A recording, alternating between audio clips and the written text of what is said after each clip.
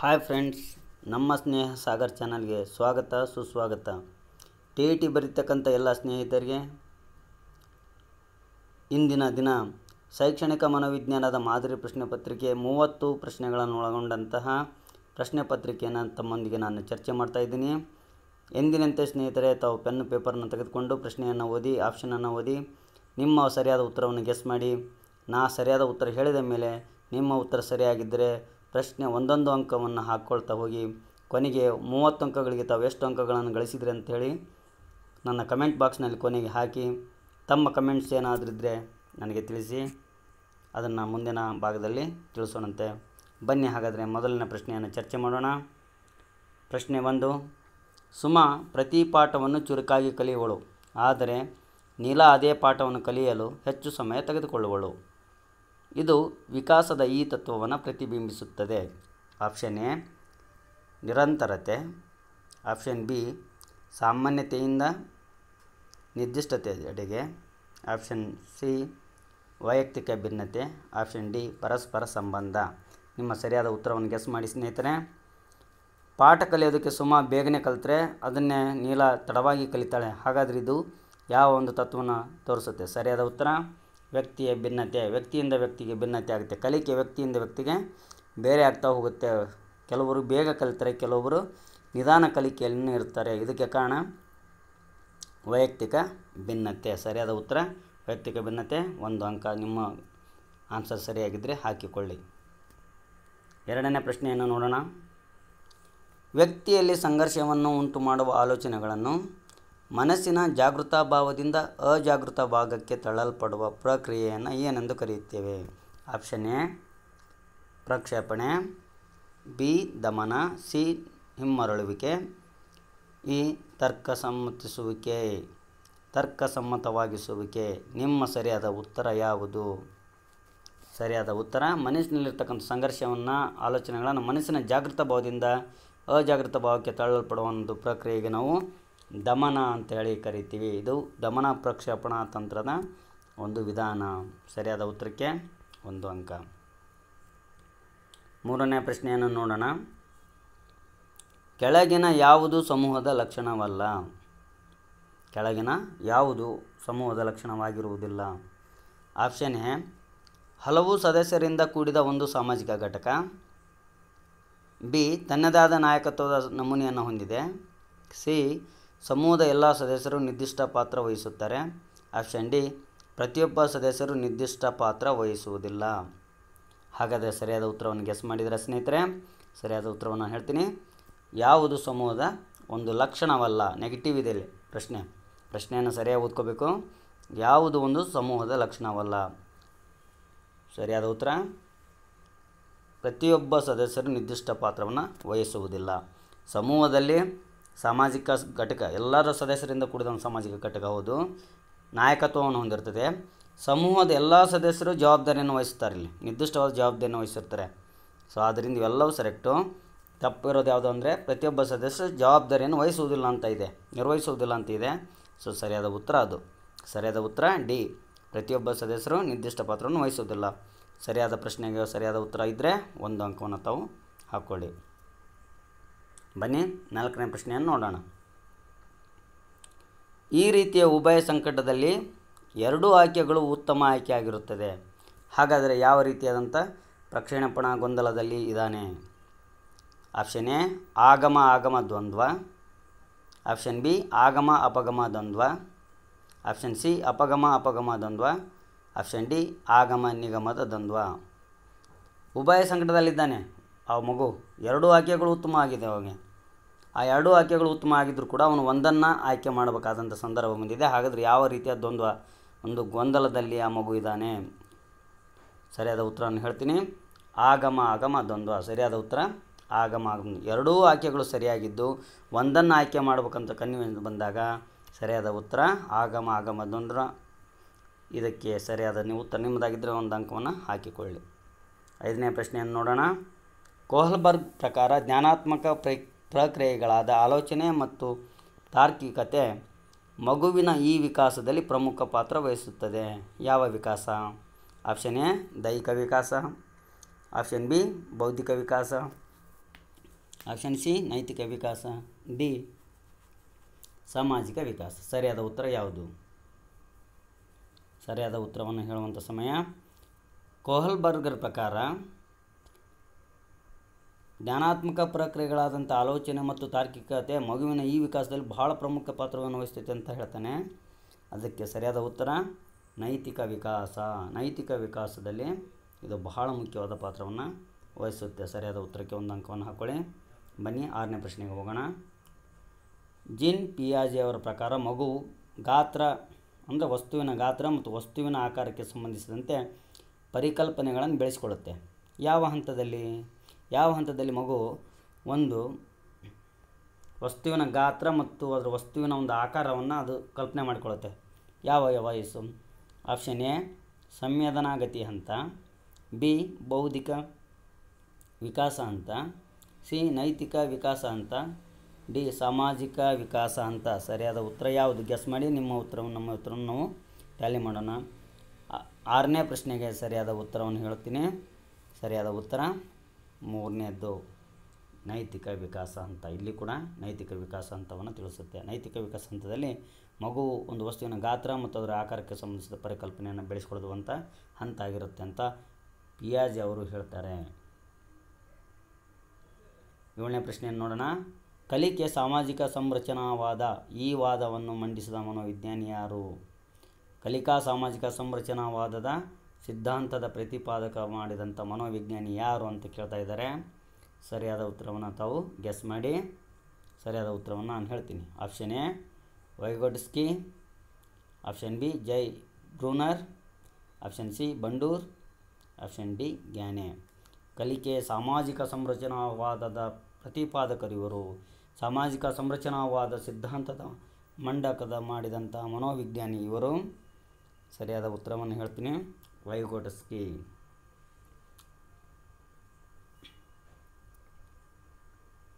ಎಂಟನೇ ಪ್ರಶ್ನೆಯನ್ನು ನೋಡೋಣ. ನೈತಿಕ ಬೆಳವಣಿಗೆ ಸಿದ್ಧಾಂತವನ್ನು ಪ್ರತಿಪಾದಿಸಿದ ಮನೋವಿಜ್ಞಾನಿ ಯಾರು? ನೈತಿಕ ಬೆಳವಣಿಗೆ ಸಿದ್ಧಾಂತವನ್ನು ಪ್ರತಿಪಾದಿಸಿದಂಥ ಮನೋವಿಜ್ಞಾನಿ ಯಾರು ಅನ್ನೋದನ್ನು ತಾವು ಗೆಸ್ ಮಾಡಿ. Bandura, Kohlberg, Bruner, Gagne. ಸರಿಯಾದ ಉತ್ತರವನ್ನು ನಾವು ಟ್ಯಾಲಿ ಮಾಡೋಣ. ನೈತಿಕ ಬೆಳವಣಿಗೆ ಸಿದ್ಧಾಂತವನ್ನು ಪ್ರತಿಪಾದಿಸಿದ ಮನೋವಿಜ್ಞಾನಿ ಯಾರು ಅಂದರೆ? ಕೋಲ್ಬರ್ಗ್.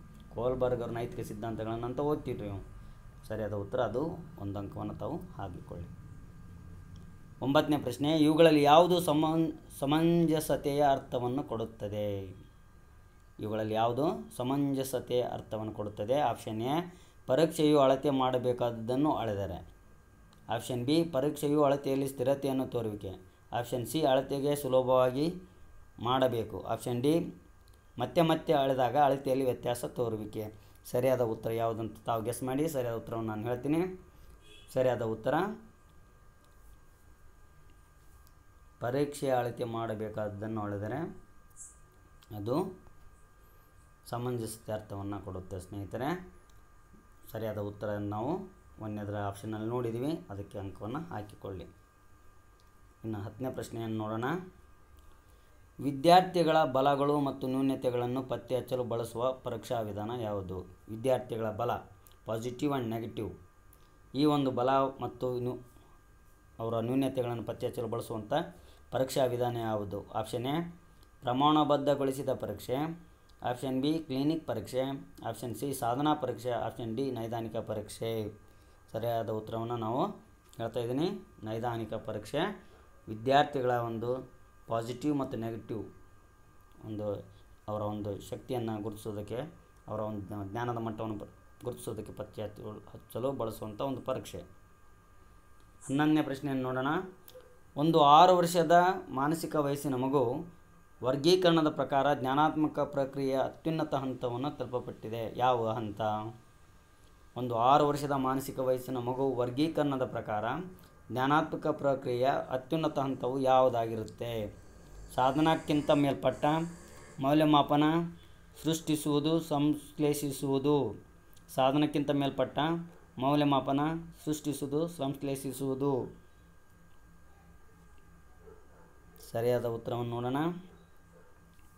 ಸೃಷ್ಟಿಸುವುದು.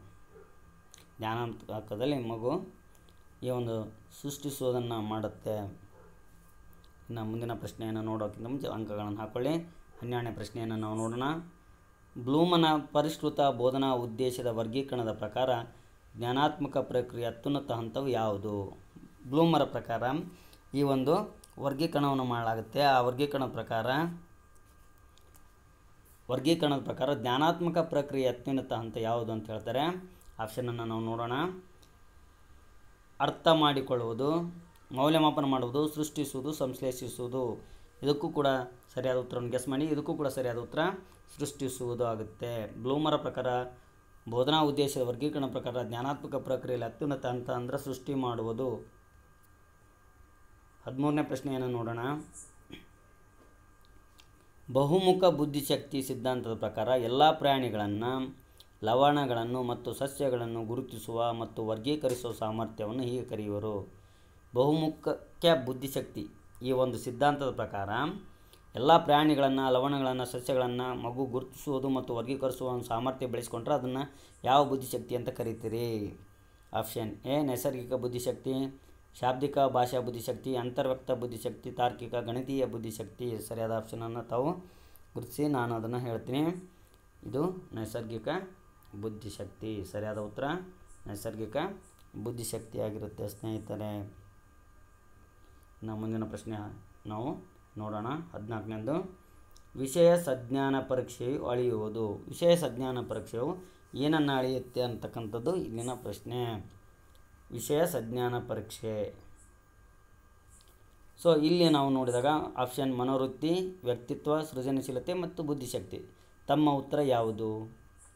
ಸರಿಯಾದ ಉತ್ತರ, ವ್ಯಕ್ತಿತ್ವ. ವಿಷಯ ಸಜ್ಞಾನ ಪರೀಕ್ಷೆಯು ವ್ಯಕ್ತಿಯ ವ್ಯಕ್ತಿತ್ವವನ್ನು ಅಳೆಯುತ್ತದೆ.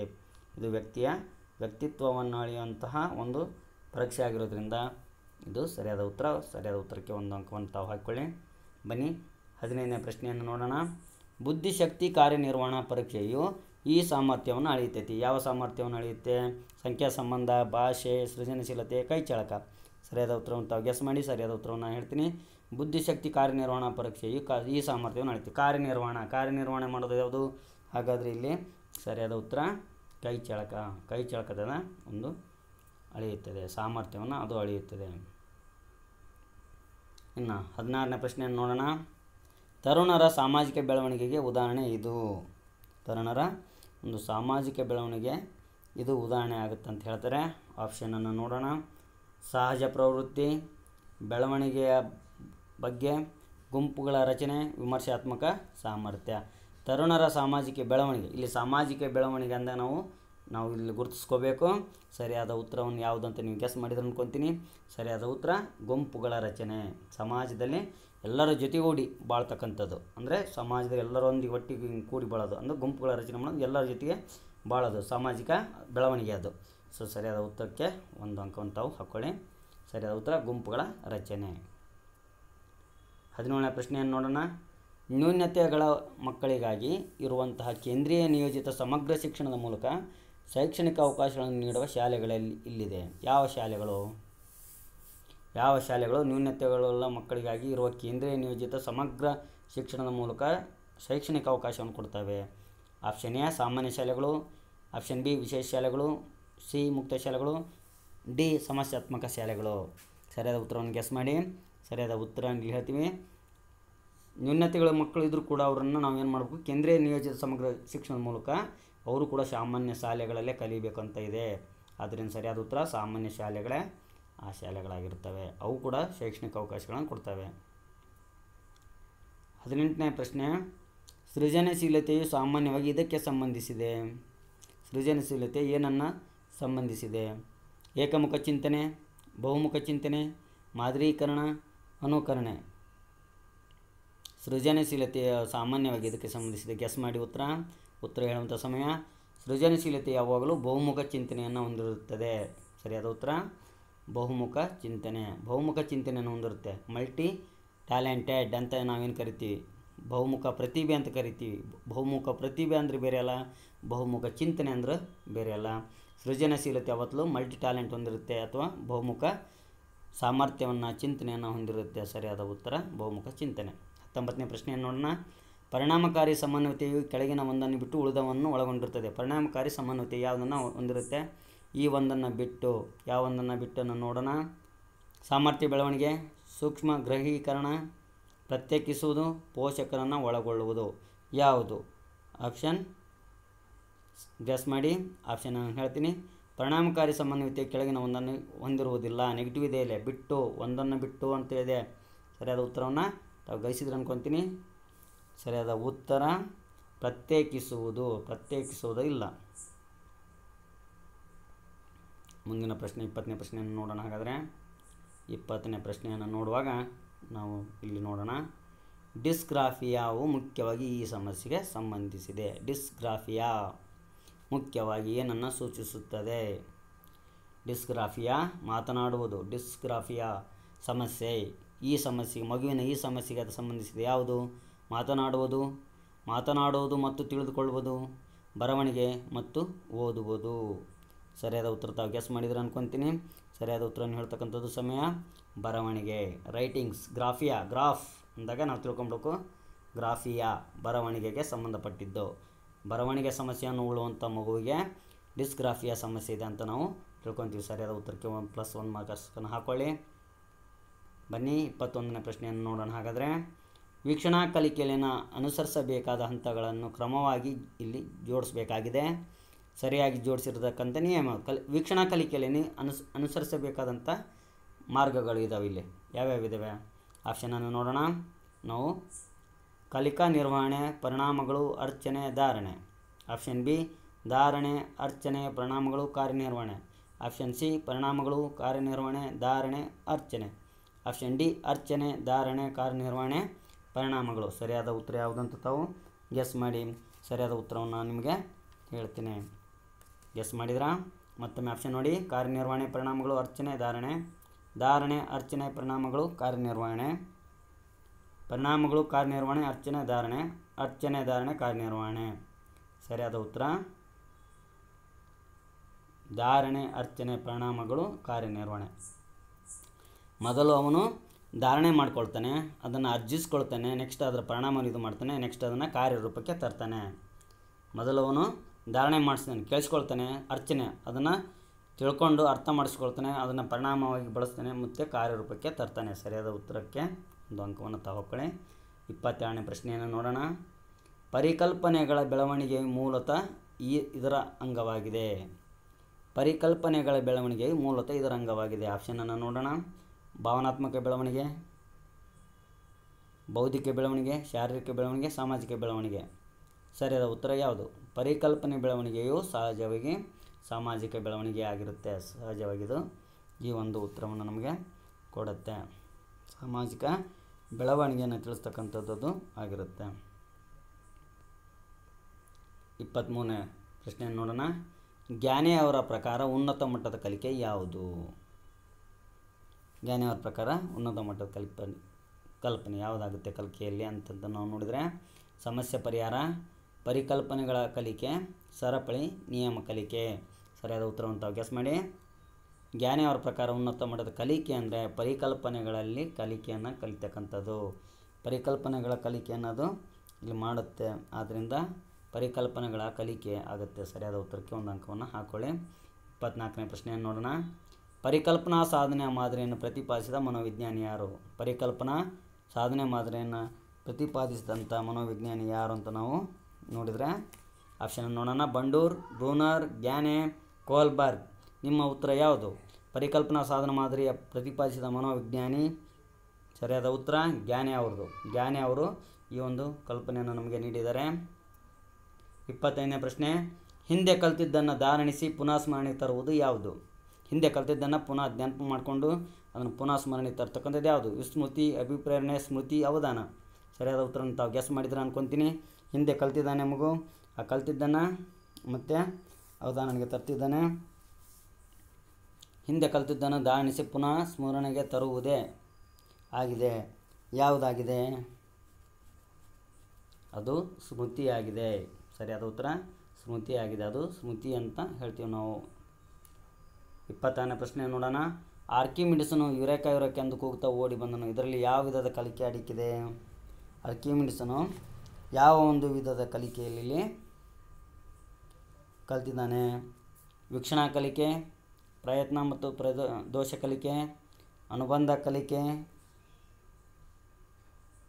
ಅನುಬಂಧ ಕಲಿಕೆ, ಒಳನೋಟ ಕಲಿಕೆ. ಸರಿಯಾದ ಉತ್ತರ ಯಾವುದಂತ ತಾವು ಗೆಸ್ ಮಾಡಿ. ಆರ್ಕಿಮಿಡಿಸನು ಯುರೇಕ ಯುರೇಕ ಎಂದು ಕೂಗುತ್ತಾ ಓಡಿ ಬಂದು ಈ ಒಂದು ಇದಾದ ಕಲಿಕೆಯನ್ನು ಕಲಿತಾನೆ. ಹಾಗಾದರೆ ಇದು ಒಳನೋಟ ಕಲಿಕೆ, ಒಳನೋಟ ಕಲಿಕೆಯಿಂದ ಇದು ಆಯಿತು. ಇಪ್ಪತ್ತೇಳನೇ ಪ್ರಶ್ನೆ. ಕಾರ್ಯಕ್ರಮ ಅನ್ವಯ, ಕಲಿಕೆ ಇದನ್ನು ಆಧರಿಸಿರುವುದು, ಕಾರ್ಯಕ್ರಮದ ಅನ್ವಯ, ಇದನ್ನು ಆರಿಸ್, ಯಾವುದು? ಆಪ್ಷನನ್ನು ನೋಡೋಣ. ಕ್ರಿಯಾಜನ್ಯ ಅನುಬಂಧ, ಯತ್ನ ದೋಷ ಕಲಿಕೆ, ಒಳನೋಟ ಕಲಿಕೆ, ಶಾಸ್ತ್ರೀಯ ಅನುಬಂಧ. ಸರಿಯಾದ ಉತ್ತರ ಯಾವುದು? ಗೆಸ್ ಮಾಡಿ. ಸರಿಯಾದ ಉತ್ತರ ಕ್ರಿಯಾಜನ್ಯ ಅನುಬಂಧ ಕಲಿಕೆ, ಇದು ಸರಿಯಾದ ಉತ್ತರ. ಇಪ್ಪತ್ತೆಂಟನೇ ಪ್ರಶ್ನೆಯನ್ನು ನೋಡೋಣ. ಕೆಳಗಿನ ಯಾವುದು ಕ್ರಿಯಾ ಸಂಶೋಧಕರನ್ನು ಕ್ರಿಯಾ ಯೋಜನೆಗೆ ನಿರ್ದೇಶಿಸುತ್ತದೆ? ಕೆಳಗಿನ ಒಂದು ಯಾವುದು ಕ್ರಿಯಾ ನಿರ್ದೇ ನಿರ್ದೇಶಕರನ್ನು ಕ್ರಿಯಾ ಯೋಜನೆಗೆ ಇದು ಮಾಡುತ್ತೆ. ಸಂಭವನೀಯ ಕಾರಣಗಳ ವಿಶ್ಲೇಷಣೆ, ಕ್ರಿಯಾ ಪ್ರಕಲ್ಪನೆಯನ್ನು ನಿರೂಪಿಸುವುದು, ಪೂರ್ವ ಪರೀಕ್ಷಾದತ್ತದ ವಿಶ್ಲೇಷಣೆ ಮಾಡೋದು, ಸಮಸ್ಯೆಯನ್ನು ನಿರ್ದಿಷ್ಟಗೊಳಿಸುವುದು. ಸರಿಯಾದ ಉತ್ತರ ಯಾವುದು? ಗೆಸ್ ಮಾಡಿ. ಸರಿಯಾದ ಉತ್ತರವನ್ನು ನಾನು ನಿಮಗೆ ಹೇಳ್ತೀನಿ. ಸರಿಯಾದ ಉತ್ತರ. ಕ್ರಿಯಾ ಪ್ರಾಕಲ್ಪನೆಯನ್ನು ನಿರೂಪಿಸುವುದು. ಕ್ರಿಯಾ ಸಂಶೋಧಕನ ಕ್ರಿಯಾ ಯೋಜನೆಗೆ ನಿರ್ದೇಶನೆಯನ್ನು ಕ್ರಿಯಾ ಪರಿಕಲ್ಪನೆ. ಅದರ ಒಂದು ಕನ್ಸೆಪ್ಟನ್ನು ನಿರೂಪಿಸುವುದಾಗಿದೆ. ಇನ್ನು ಇಪ್ಪತ್ತೊಂಬತ್ತನೇ ಪ್ರಶ್ನೆಗೆ ಬರೋಣ.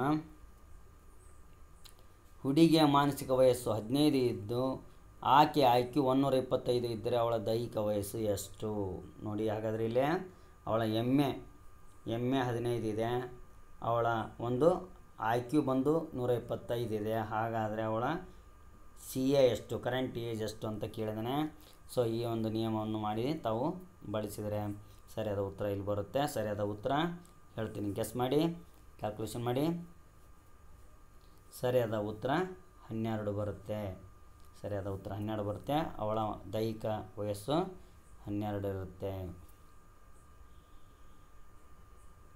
ಕೊನೆಯ ಪ್ರಶ್ನೆ, ಸಮಾಚಾರಕ್ಕೆ ವರ್ತನೆಯ ವಿದ್ಯಾರ್ಥಿಗಳನ್ನು ಅಧ್ಯಯನ ಮಾಡಲು ಉಪಯೋಗಿಸುವ ವಿಧಾನ ಯಾವುದು? ಇಲ್ಲಿ ಸಮಸ್ಯಾ ವರ್ತನೆ. ಇಲ್ಲಿ ಸ್ವಲ್ಪ ಟೈಪಿಂಗ್ ತಪ್ಪಾಗಿದೆ ಸ್ನೇಹಿತರೆ, ಅದನ್ನು ಸರಿಪಡಿಸೋಣ ಮೊದಲು. ಸಮಸ್ಯಾ ವರ್ತನೆಯ ವಿದ್ಯಾರ್ಥಿಗಳನ್ನು ಅಧ್ಯಯನ ಮಾಡಲು ಉಪಯೋಗಿಸುವ ವಿಧಾನ ಯಾವುದು? ಇಲ್ಲಿ ಸಮಸ್ಯೆ ಅಂತ ಬೇಕಾಗಿತ್ತು ಸಮಸ್ಯಾತ್ಮಕ ಮಕ್ಕಳನ್ನು ನಾವು ಇಲ್ಲೇ, ಸಮಸ್ಯಾತ್ಮಕ ಮಕ್ಕಳನ್ನು ನಾವು ವರ್ತನೆಯನ್ನು, ವಿದ್ಯಾರ್ಥಿಗಳನ್ನು ಅಧ್ಯಯನ ಮಾಡಲು ಉಪಯೋಗಿಸುವ ವಿಧಾನ ಯಾವುದು? ಆಪ್ಷನ್ ಎ, ವ್ಯಕ್ತಿ ಅಧ್ಯಯನ, ಬಿ, ಅಂತರಾವಲೋಕನ ಅಧ್ಯಯನ, ಸಿ, ಪ್ರಾಯೋಗಿಕ ಅಧ್ಯಯನ, ಡಿ, ಅವಲೋಕನ ಅಧ್ಯಯನ. ಸರಿಯಾದ ಉತ್ತರವನ್ನು ಗೆಸ್ ಮಾಡಿದ್ರೆ ಅನ್ಕೊತೀನಿ. ಸಮಸ್ಯಾತ್ಮಕವಾಗಿರ್ತಕ್ಕಂಥ ವರ್ತನೆಯನ್ನು ಮಾಡ್ತಕ್ಕಂಥ ವಿದ್ಯಾರ್ಥಿಗಳನ್ನು ಅಧ್ಯಯನ ಮಾಡಬೇಕಾದ್ರೆ ನಾವು ವ್ಯಕ್ತಿ ಅಧ್ಯಯನವನ್ನು ಕೈಗೊಳ್ಳಬೇಕಾಗುತ್ತೆ ಸ್ನೇಹಿತರೆ. ಸರಿಯಾದ ಉತ್ತರ, ವ್ಯಕ್ತಿ ಅಧ್ಯಯನ ಕೇಸ್ ಸ್ಟಡಿ ಅಂತ ಏನು ಕರಿತೀವಿ ನಾವು? ಇದನ್ನು ಕೇಸ್ ಸ್ಟಡಿ ಅಂತ ಹೇಳಿ ಕರಿತೀವಿ. ಕೇಸ್ ಸ್ಟಡಿ ಕೇಸ್ ಸ್ಟಡಿ ಮಾಡಬೇಕು. ಸರಿ, ವ್ಯಕ್ತಿಯ ಸಮಸ್ಯೆಯನ್ನು ಅರ್ಥ ಮಾಡ್ಕೋಬೇಕಾದ್ರೆ, ವಿದ್ಯಾರ್ಥಿಯ ವೈಯಕ್ತಿಕ ಸಮಸ್ಯೆಗಳನ್ನು ಅರ್ಥ ಮಾಡ್ಕೋಬೇಕಾದ್ರೆ ಆ ವ್ಯಕ್ತಿ ಅಧ್ಯಯನ ಮಾಡಬೇಕು ಸರಿಯಾದ ಉತ್ತರಕ್ಕೆ ಒಂದು ಅಂಕ. ಸ್ನೇಹಿತರೆ, ಇದುವರೆಗೆ ತಾವು ನನ್ನೊಂದಿಗೆ ಮೂವತ್ತು ಪ್ರಶ್ನೆಗಳನ್ನು ಚರ್ಚೆ ಮಾಡಿದಿರಿ ಈ ಮೂವತ್ತು ಪ್ರಶ್ನೆಗಳಿಗೆ ಸರಿಯಾದ ಉತ್ತರ ತಮ್ಮದು ಏನು ಅನ್ನೋದನ್ನು ತಾವು ಕಮೆಂಟ್ ಬಾಕ್ಸ್ನಲ್ಲಿ ಟೋಟಲ್ ಮಾರ್ಕ್ಸನ್ನು ಹಾಕಿ, ಹಾಗೆ ಇನ್ನೂ ಏನಾದರೂ ಕಮೆಂಟ್ಸ್ ಇದ್ದರೆ ಅದರಲ್ಲಿ ಹಾಕಿ ದಯವಿಟ್ಟು ತಾವು ನಮ್ಮ ಈ ಒಂದು ವಿಡಿಯೋವನ್ನು ಲೈಕ್ ಮಾಡಿ, ಶೇರ್ ಮಾಡಿ ಹಾಗೂ ಸಬ್ಸ್ಕ್ರೈಬ್ ಆಗಿ ಬೆಲ್ ಬಟನನ್ನು ಪ್ರೆಸ್ ಮಾಡೋದ್ರ ಮೂಲಕ ಮುಂದಿನ ಒಂದು ಮಾದರಿ ಪ್ರಶ್ನೆ ಪತ್ರಿಕೆ ಆಗಲಿ ಅಥವಾ ವಿಷಯ ಆಗಲಿ ಮುಂದಿನ ವಿಡಿಯೋ ನೋಟಿಫಿಕೇಷನ್ ತಮಗೆ ಬರುತ್ತೆ. ಟಿ ಇ ಟಿ ಬರೀತಕ್ಕಂತಹ ಎಲ್ಲ ನಮ್ಮ ಅಭ್ಯರ್ಥಿಗಳು ಸ್ನೇಹಿತರುಗಳಿಗೆ ಯಶಸ್ಸು ನಿಮ್ಮದಾಗಲಿ, ಪರೀಕ್ಷೆಯಲ್ಲಿ ಉತ್ತಮ ಅಂಕಗಳು ತಮ್ಮದು ಬರಲಿ ಅಂತ ಹೇಳಿ ಹಾರೈಸ್ತಾ ಇಂತಿ ನಿಮ್ಮ ಸ್ನೇಹದ channel Sneha Sagar channel. Thanks for watching this video.